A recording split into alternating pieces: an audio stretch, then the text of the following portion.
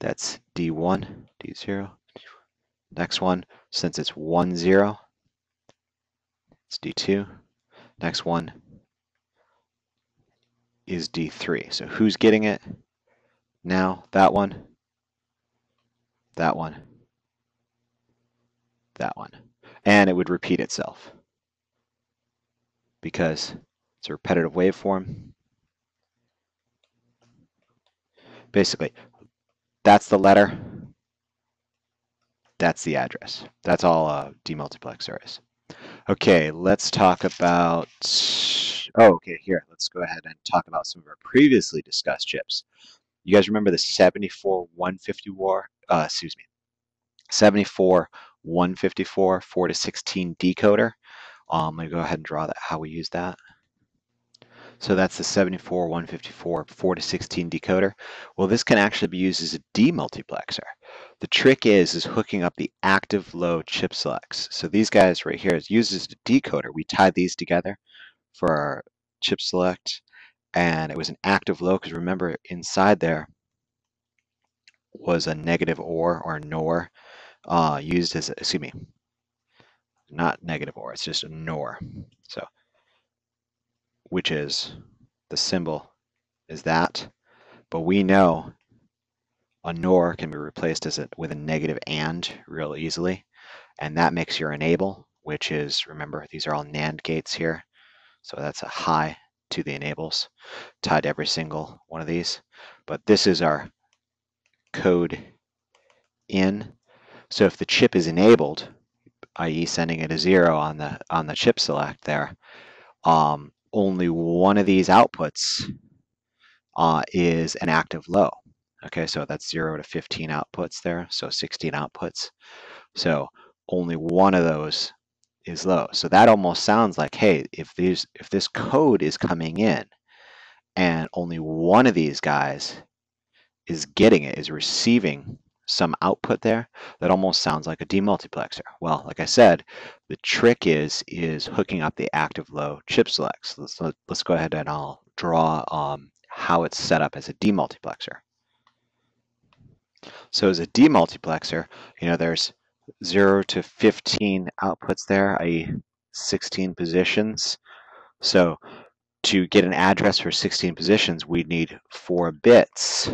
So where do you think uh, the address is? Well, right there. Uh, whereas previously we were putting our code in, now we just use our 4-bit data select, and it's going to, just like previously, um, give us only one of these guys is going to be active at any time. Only one of those 16 is going to be active at any time. All the rest of the guys, they're open up to their mailbox. There's no mail in there because only one guy is receiving the uh, the data. Now, where does the data come in? Well, you ground this guy and just send data in here. And you can do either one too. You can flip-flop them. But as long as one's grounded and one's got data in. So why does this work? Well, check it out. This enable, if you remember right when we were talking earlier, that's tied to every single one of these NAND gates, because these are all NAND gates right here. Okay, so that enable signal, let's let's go back. So this this is stage two. Stage one is this guy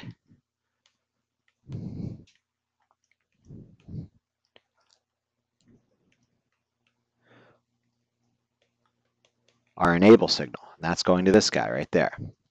So if data is coming in on one of these guys, what does a negative AND do? Well, truth table for a negative AND, 0, 1, 1, 0.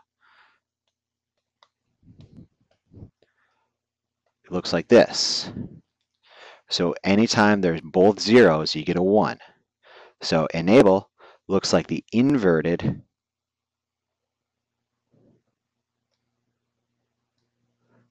data in. Now, when one of these is activated, when one of these NAND gates is activated, let's say it's getting, let's see, oh, it's actually,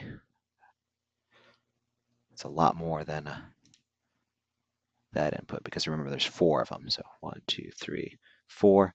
That's S0, S1, S2, That's 3. When all three of these guys coming into that NAND gate is a 1, and you get this inverted signal of the data in coming in. Remember a NAND gate, its truth table.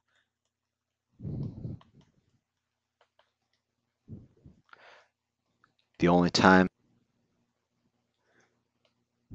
the only time it's low is when both are ones.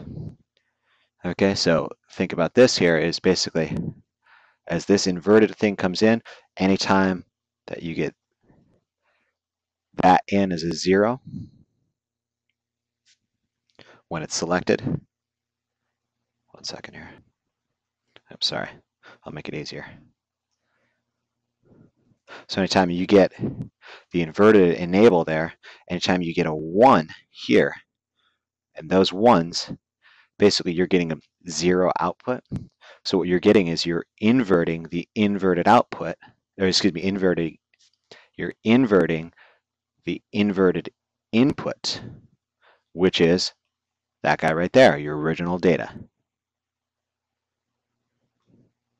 Pretty cool, huh? All right, that's it for uh, demultiplexers. Um, again, all they are is just a little postman. They've got a letter, and the letter has an address on it.